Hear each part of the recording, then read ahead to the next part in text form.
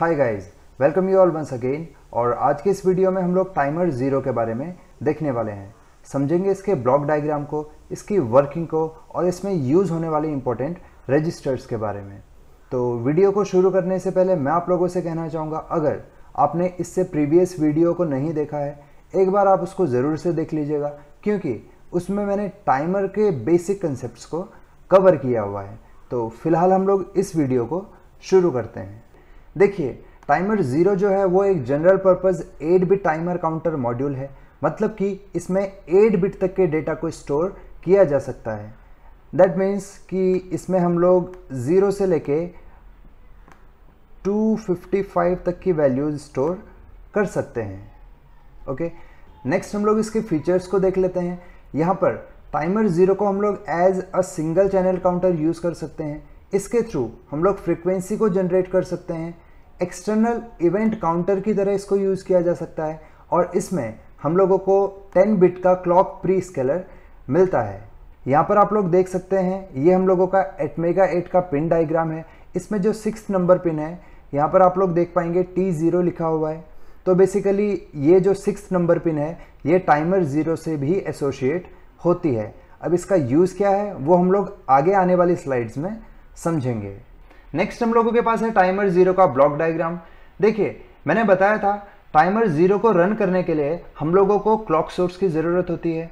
और ये clock source हम चाहें तो इंटरनली ले सकते हैं या फिर एक्सटर्नली भी ले सकते हैं. तो सबसे पहले हम लोग यहाँ पर क्लॉक सेलेक्शन ब्लॉक को देख लेते हैं अपने. यहाँ पर हम लोगों के पास दो ऑप्शन है.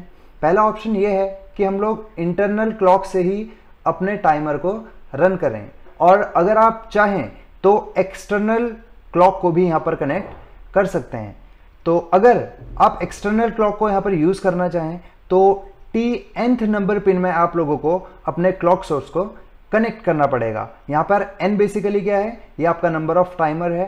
फ़िलहाल हम लोग टाइमर ज़ीरो की बात कर रहे हैं। इसलिए ये जो है, ये टी ज़ीरो है। मतलब कि हम लोगों का एटमेगा एट का सिक्स नंबर पिन जो कि मैंने आपको बताया था टी ज़ीरो होता है, आप लोगों ने उसके साथ अपने एक्सटर्नल क्लॉक को कनेक्ट करना पड़ेगा। तो फ़िलहाल मैं इसको यूज़ नहीं करने वाला हूँ, मैं इंटरनल क्लॉक को ही यूज़ करूँगा। तो इंटरनल क्लॉक में भी आप लोगों को यहाँ पर एक प्री स्केलर का फीचर मिलता है। प्री स्केलर बेसिकली है क्या? ये आप लोगों के फ्रिक्वेंसी को डिवाइड करने के काम आता है। और प्री स्केलर की यहाँ पर कुछ प्री डिफाइंड वैल्यूज़ होती हैं, वो हम लोग आगे आने वाली स्लाइड्स में डिस्कस करेंगे। सो so बेसिकली ये चीज़ सेलेक्ट करने के बाद हम लोगों को यहाँ पर एक क्लॉक पल्स मिलेगी। और उसके अकॉर्डिंगली हम लोगों का ये जो टाइमर ज़ीरो है वो रन होगा। अब ये चीज़ हम लोगों को तो पता है कि हम इंटरनल क्लॉक यूज़ करने वाले हैं या फिर एक्सटर्नल बट ये चीज़ हम लोगों को अपने माइक्रो कंट्रोलर को भी बतानी पड़ती है। तो माइक्रो कंट्रोलर को बताने के लिए हम लोगों के पास एक रजिस्टर है T C C R N और एन यहाँ पर बेसिकली क्या है? नंबर ऑफ़ टाइमर तो फ़िलहाल हम लोगों का जीरोथ नंबर का टाइमर है तो हम लोगों का रजिस्टर जो होगा वो T C C R zero होगा। तो इस रजिस्टर में हम लोग अपने कुछ वैल्यूज़ डालते हैं और उन वैल्यूज़ के अकॉर्डिंगली हम लोगों का जो माइक्रो कंट्रोलर है, वो ये पहचान पाता है कि उसको कौन से टाइप का और कितने प्री स्केलर का टाइमर यूज़ करना है। नेक्स्ट हम लोगों के पास T C and T zero register है। ये बेसिकली टाइमर का डेटा रजिस्टर है और इसकी जो वैल्यूज़ हैं, वो ज़ीरो से 255 तक वेरी करती हैं। अब ये जो वैल्यूज़ हैं, वो बेसिकली इंक्रीज होंगी कैसे? देखिए यहाँ पर हम लोगों का जो है क्लॉक सोर्स आएगा। और जैसे जैसे यहाँ पर क्लॉक पल्सेज आएँगी, वैसे वैसे हम लोगों का जो टाइमर है, उसकी वैल्यू बढ़ेगी। अब सपोज़ करो इनिशियली हम लोगों का पहला पल्स आया तो हम लोगों की जो वैल्यू है वो ज़ीरो से वन होगी। अब इसके बाद हम लोग इस वैल्यू को कंपेयर करते हैं अपने ज़ीरो एक्स एफ़ एफ़ से। मतलब कि हम लोग इस वैल्यू को, जो कि 255 है, इसको कंपेयर करते हैं। टाइमर की वैल्यू से। और जब तक ये वैल्यू 255 नहीं होगी, हम लोगों का यहाँ पर जो कंट्रोल लॉजिक है, वो अगेन एक क्लॉक पल्स भेजेगा और अगेन ये जो वैल्यू है, वो टू होगी। फिर से कंपैरिजन होगा। फिर जो यहाँ है कंट्रोल लॉजिक वहाँ से एक पल्स आएगी और ये वैल्यू थ्री होगी। और अप टू 255 ये वैल्यूज़ इंक्रीज होती रहेंगी। और जैसे ही ये वैल्यूज़ 255 रीच करेगी, वैसे ही हम लोगों का जो कंट्रोल लॉजिक है, वो हमारे टाइमर काउंटर की जो वैल्यू है उसको ज़ीरो कर देगा, जिसको हम लोग ओवरफ्लो बोलते हैं। और साथ में ही हम लोगों का जो कंट्रोल लॉजिक है, वो T I F R register के टी ओ वी ज़ीरो नाम के फ्लैग बिट को सेट कर देगा। T O V zero basically है क्या ये? टाइमर ज़ीरो ओवरफ्लो फ्लैग है ओके तो ये जो चीज़ है, ये बेसिकली हम लोगों के इंटरप्ट को जनरेट करने के काम आती है। तो नेक्स्ट स्लाइड में इन चीज़ों को हम लोग वन बाय वन समझेंगे। नेक्स्ट हम लोग वन बाय वन अपने टाइमर ज़ीरो से एसोसिएट रजिस्टर्स को देख लेते हैं।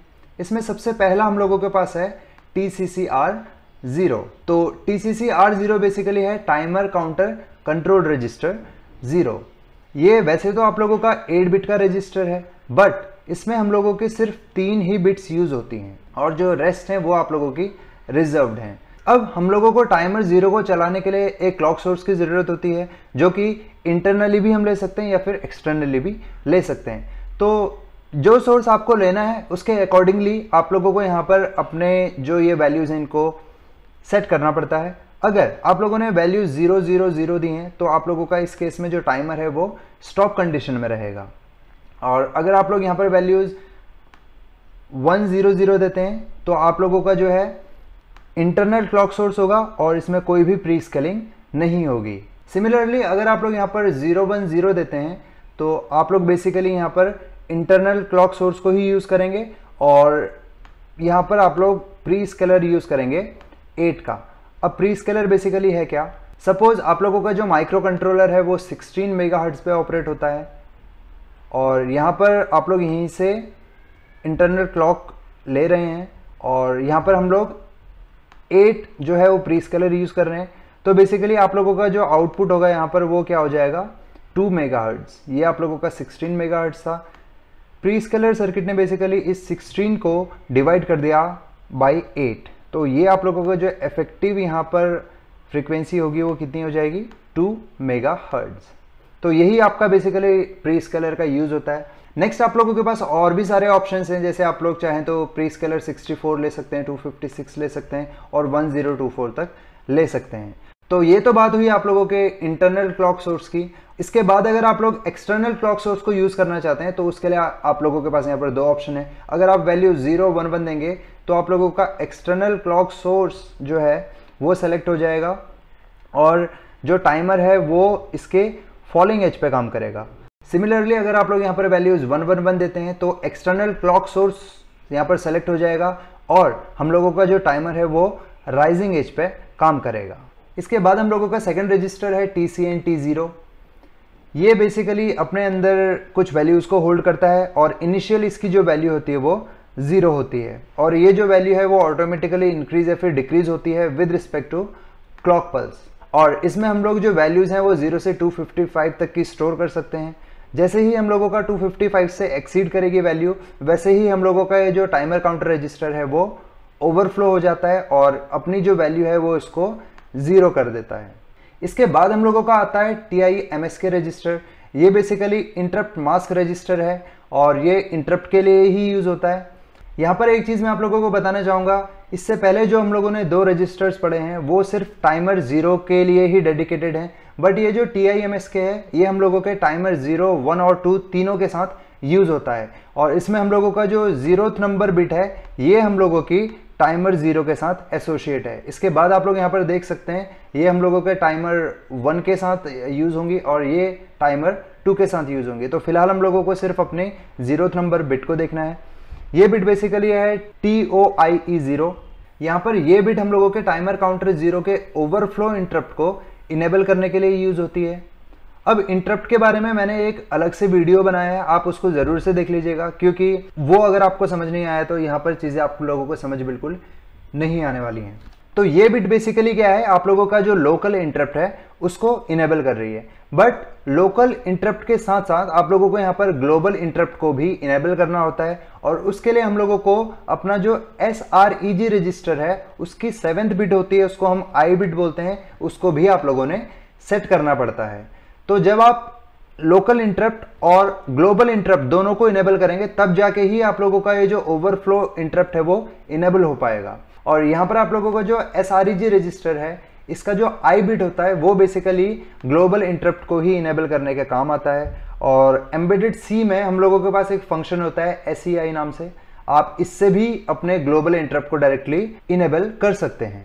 इसके बाद आप लोगों के पास T I F R register है। ये बेसिकली इंटरप्ट फ्लैग रजिस्टर होता है। और ये जो रजिस्टर है, ये आप लोगों का टाइमर ज़ीरो वन और टू तीनों के साथ एसोसिएट होता है। और इसमें जो ज़ीरो नंबर की बिट है that is T O V zero ये हम लोगों का टाइमर ज़ीरो से एसोसिएट है। और इसको हम लोग क्या बोलते हैं? Timer counter zero overflow flag ठीक है? हम लोगों की ये जो बिट है, ये कब सेट होगी? जब आप लोगों का टाइमर ज़ीरो ओवरफ्लो होगा।